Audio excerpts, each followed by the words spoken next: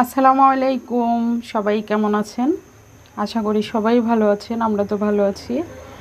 তো বাসায় কেউ বলে ছাইয়া পিঠা, কেউ বলে মেরা পিঠা। আমি ছোটোবেলা থেকে জানি ছাইয়া পিঠা বলে আমাদের দৃষ্টিকে।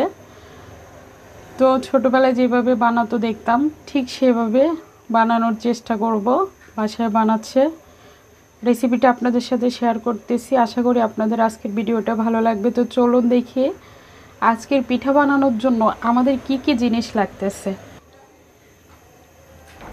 তো প্রথমে এই পিঠার জন্য লাগবে চাউলের গুঁড়ো এখানে চাউলের গুঁড়ি আছে। যে যতটুকু আন্দাজে বানাবেন, সে ততটুকু আন্দাজে নেবেন। এখানে বলার কিছু নেই। তারপর আছে স্বাদ মতো লবণ। আছে এখানে নারকেল কোচানো, ফ্রেশ নারকেলকে কুচানো ভালো করে। কীভাবে জানি বুয়া কুচিয়ে নিয়েছে, আমি ঠিক বলতে পারব না, যাই হোক। আর এখানে আছে নারকেল কোরানো। দেখতে পাচ্ছেন? আছে গুড়। আর এটা হচ্ছে টালা জিরে। জিরেটারে হালকা টেলে নিতে হবে। যখন একটা সুন্দর ফ্লেভার আসবে, তখনই বন্ধ করে দিতে হবে। এই জিরেটা দিতে হবে। আর লাগবে কিছু গরম মশলা। চলুন এবার চুলাতে চলে যাই। তো এখানে চুলাতে হাঁড়িতে বসিয়ে দেওয়া হয়েছে পানি। তো এটা কিন্তু শীতের পিঠা, ন্যাড়া পিঠা বা ছাইয়া পিঠা। দুইটা তেজপাতা, দুই টুকরো দারচিনো। দুইটা এলাচ দিয়ে পানিগুলো ভালো করে ফুটে ভালো করে স্বাদ মতো লবণ। এখন এই পানিগুলো খুব ভালো করে বলক আসতে হবে। দুই তিনটা বলক আসার পরে যাই চাউলের গুঁড়া দেব।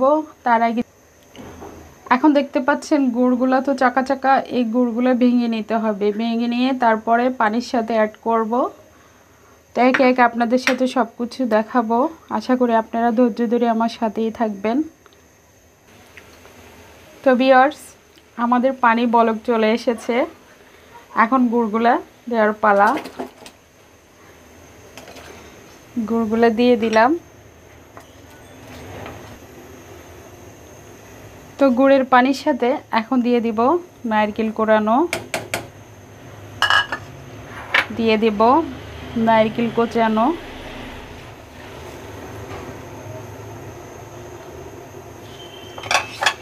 দিয়ে এখন এগুলো ভালো করে অ্যাড করে নেব।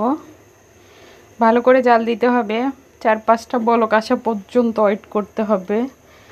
নারকেলগুলো ভালো করে সিদ্ধ হতে হবে, গুঁড়ের গন্ধ যেতে হবে। এখানে আমি দিয়ে দেব টালা জিরা। টালা জিরা দেওয়ার অর্থ হচ্ছে একটা ভালো একটা ফ্লেভার আসার জন্য। এই জিরাটা অনেক সুন্দর একটা ফ্লেভার আসবে। খেতে অনেক সুন্দর, ভালো লাগে। এই জন্য দেয়া। কেউ চাইলে দিতে পারেন, আবার কেউ যদি পছন্দ না করেন, তাহলে স্কিপ করতে পারেন ওকে তো আমার আটার শিরাটা দেখতে পাচ্ছেন। এখানে কিন্তু প্রায় পনেরো মিনিট আমি এভাবে জাল করতেছি। আরও পনেরো মিনিট জাল করতে হবে।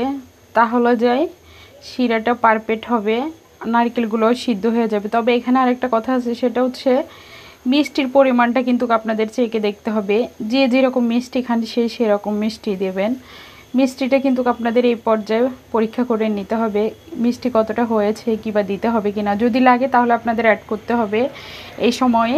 আর যদি না লাগে তাহলে তো দরকার নেই, তবে এই সময়ে আপনাদের পরীক্ষা করে নিতে হবে। তো আমি আরও দশ থেকে পনেরো মিনিট জাল করব।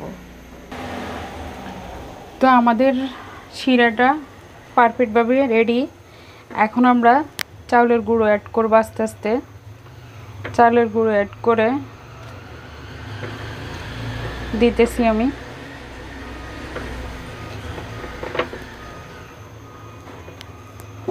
আস্তে আস্তে নেড়ে দেখতে হবে।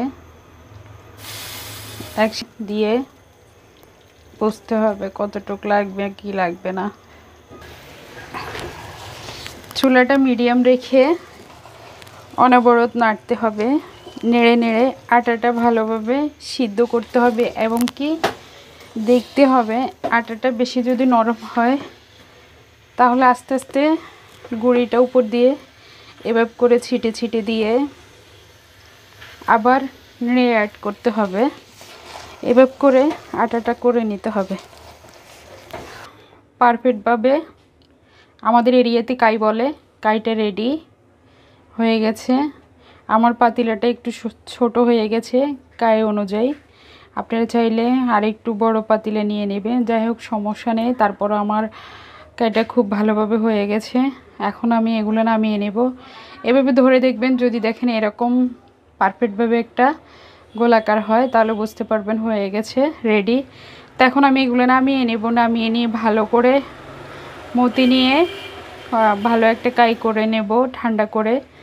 তো ঠিক আছে, এগুলো ঠান্ডা করতে দিই।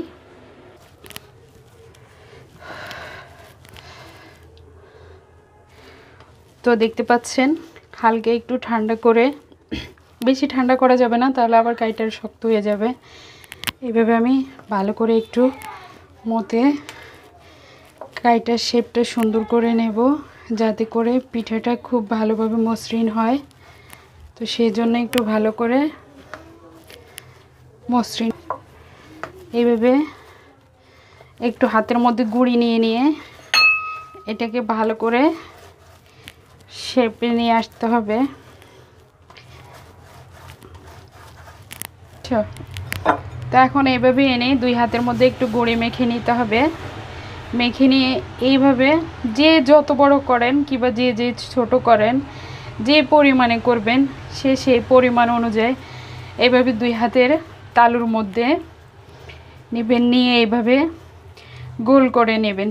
সুন্দর করে একটা গোলাকার লিচির মতো শেপ করে নেবেন। যাতে করে দেখতে সুন্দর হয়। এভাবে করে নেবেন। দেখতে পাচ্ছেন?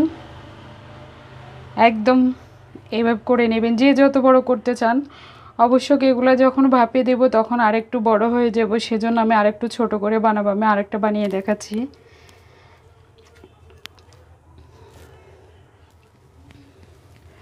তো আমি আরেকটা বানিয়ে দেখাচ্ছি। দেখতে পাচ্ছেন? এভাবে করে ঘুরিয়ে ঘুরিয়ে যত বড় করতে চান কিংবা ছোট করতে চান, যে পরিমাণে করতে চান সে সেই পরিমাণে শেপ করে নেবেন। ব্যাস, আমি এভাবে সব কয়টা পিঠা বানিয়ে নেব। তো ফিরে আসলাম, সব কয়টা পিঠা বানিয়ে নিয়ে চলে আসলাম, দেখতে পাচ্ছেন? আমাদের সব কয়টা পিঠা বানানো হয়ে গেছে। আমাদের অনেকগুলো পিঠা হয়েছে। তো আপনারা যে যে পরিমাণে বানাবেন সেই সেই পরিমাণে হবে। আমরা একটু বেশি করে বানিয়েছি, বাসায় আমাদের আশেপাশে আত্মীয় স্বজন আছে, সবাইকে দিতে হবে। তো চলুন, এখন আমি পিঠাগুলো কীভাবে ভাব দেবো সেটা আপনাদেরকে দেখিয়ে দিই। তো দেখতে পাচ্ছেন, আমি চুলে এরকম একটা বড় হাঁড়ি বসিয়ে দিয়েছি। এ হাঁড়ির মধ্যে আদা পাতিলা পানি দিয়েছি। দেখতে পাচ্ছেন, পানি কিন্তু একদম নিচে, বেশি উপরে না। আদা পাতিলে পানি দিয়েছি এই পাতিলে পানিগুলো বলক আসবে। আরেকটা পাতিলে নিয়েছি আমি সেম। আরেকটা পাতিলে নিয়েছি। এই পাতিলেটার মধ্যে এখন আমি পিঠাগুলো সব নিয়ে নেব। এই পাতিলেটার মধ্যে এখন আমি পিঠাগুলো সব ঢুকিয়ে নেব এভাবে। ঢুকিয়ে নিয়ে তো দেখতে পাচ্ছেন, আমি কিন্তু পাতিলে পুরো ভরিয়ে দিইনি, তাহলে কিন্তু ভাপ দিতে সমস্যা হয়ে যাবে, প্রত্যেকটার সাথে ভাপ লাগবে না। পাতিলে একটু কম করে দিতে হবে যাতে করে ভিতরে ভাপটা ভালোভাবে ঢুকে। তা আমি এখন এগুলো ভাপে বসাবো। চালনি বা স্টেনার সবার বাসায় আছে অবশ্যই। তা আমি আজকে এটার মধ্যে করে দেব। কারও যদি এটা না থাকে, তাহলে আপনারা খুব সহজে জালি ব্যাগ আছে না? জালি ব্যাগগুলো পাতিলার মুখে বেঁধে নেবেন। বেঁধে তারপরে পাতিলাটা পরে পাতিলাটা উপুত করে দিয়ে দেবেন। আমি যেভাবে দিতেছি, আপনারা একটু লক্ষ্য করে দেখেন। এই যে এইভাবে আমি বসিয়ে দিলাম, ব্যাস। আপনাদের যাদের এই স্টেনারটা নাই কিংবা চালনিটা নাই, তারা দুইটা জালি ব্যাগ বেঁধে নেবেন পাতিলার মুখে নিয়ে, তারপরে এই পাতিলাটা এভাবে উপুত করে বসিয়ে দেবেন। এখন আমি এটা যতক্ষণ পর্যন্ত, এখানে কিন্তু টাইমের কিছু নেই, এখানে উপরে যতক্ষণ পর্যন্ত গরম চলে না আসবে, হাত দিলে দেখবেন অনেক বেশি গরম বাপ লাগে, ততক্ষণ পর্যন্ত কিন্তু হতে হবে। এখানে হাত দিলে অনেক গরম হয়ে যাবে। তো আন্দাজ বলা যা টাইম বলা যাবে না, এটা কিন্তু আন্দাজের উপর করতে হবে। তো সেই ক্ষেত্রে আপনারা এখানে হাত দিলে বুঝতে পারবেন যে একদম গরম হয়ে গেছে। তখন আপনারা বুঝতে পারবেন যে পিঠাটা হয়ে গেছে। তো মোটামুটি দশ মিনিট পর আমি চুলাটা অফ করে দিয়েছি। এখন আমি নামিয়ে নেব চুলার থেকে। নামিয়ে নিলাম। তো আমি দশ মিনিট ভাপ দিয়েছি। আপনারা মোটামুটি একটা ধারণা রাখবেন, দশ মিনিটের মধ্যে হয়ে যাবে। কারও যদি পিঠা কম থাকে তাহলে আর একটু কম সময় লাগবে। কম পিঠে কম সময় লাগবে। আমি লাস্টে যে পিঠাগুলো দিয়েছি সেগুলো কিন্তু কম ছিল। সেগুলো আমার মোটামুটি তিন মিনিটে হয়ে গেছে। তো সেজন্য আপনাদের মোটামুটি একটা ধারণা দিলাম, বেশি এগুলো আমার দশ মিনিট লেগেছে লাস্টেরগুলো আমার তিন মিনিটের মাথায় হয়ে গেছে। ওখানে অল্প কয়টা পিঠা ছিল। তো এই যে দেখতে পাচ্ছেন, অনেক সুন্দর ভাপ হয়েছে, পিঠার ভিতরে অনেক সুন্দর হয়েছে, ঠান্ডা হলে আরও বেশি ভালো লাগবে। তো আমার ভিডিওটা যদি আপনাদের ভালো লেগে থাকে, তাহলে অবশ্যই একটা লাইক দেবেন। আপনাদের একটা লাইক আমাকে অনেক উৎসাহিত করে নতুন আরেকটা ভিডিও বানানোর জন্য। আমার ছাইয়া পিঠা বা কোনো কোনো দেশে মেরা পিঠা বলে, যাই হোক, আমি ছোটোবেলা থেকে জেনে আসছি ছাইয়া পিঠা। তো আমার পিঠাটা বানানো পারফেক্ট হয়েছে। তো আমার যদি চ্যানেলের পাশে থাকতে চান, তাহলে অবশ্যই আমার চ্যানেলটা সাবস্ক্রাইব করে পাশে থাকবেন। আর আমার নতুন ভিডিও আপডেট করলে আপনারা পাবেন, সেজন্য আমার পাশে থাকা নোটিফিকেশন অন করে দিতে হবে, তাহলে আমার নতুন ভিডিওগুলো আপনারা খুব সহজেই পেয়ে যাবেন। আমি আজকের মতো এখানেই বিদায় নেব, নতুন আরেকটা ভিডিও নিয়ে চলে আসব। ততক্ষণ, ততদিন আপনারা সবাই ভালো থাকবেন, সুস্থ থাকবেন, আমাদের জন্য দোয়া করবেন। আল্লাহ হাফেজ!